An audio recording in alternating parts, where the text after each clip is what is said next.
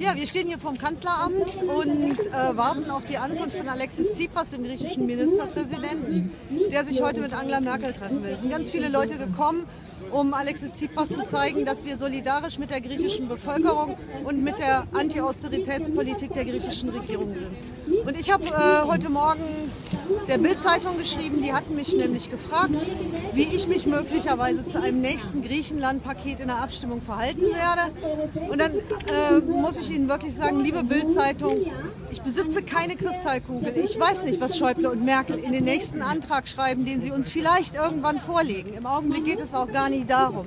Sondern es, und es geht auch nicht um die Frage, wer wem wann welchen Finger gezeigt hat. Sondern es geht ganz konkret darum, dass aufgrund der Troika-Politik und aufgrund der, Bundes, äh, der Politik dieser Bundesregierung gegenüber Griechenland, da die Selbstmordrate um 40 Prozent gestiegen ist. Drei Millionen Griechinnen und Griechen ohne Krankenversicherung dastehen. Griechenland kein Geld hat, um die vielen Flüchtlinge, äh, die dort äh, ankommen, vernünftig zu betreuen und aufzunehmen.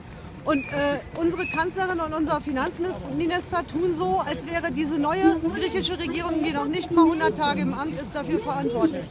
Da sage ich nein, das ist einfach schäbig.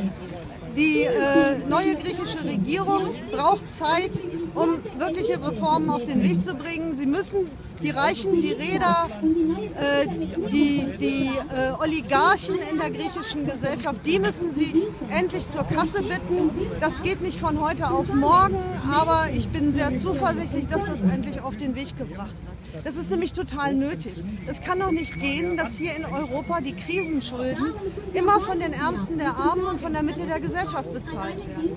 Deswegen stehe ich heute hier und äh, möchte gerne meine Solidarität mit den Griechinnen und Griechen ausdrücken und äh, euch nochmal sagen, äh, falls ihr das nicht schon längst begriffen habt, kein Euro für die Bildzeitung, kauft dieses Blatt nicht mehr.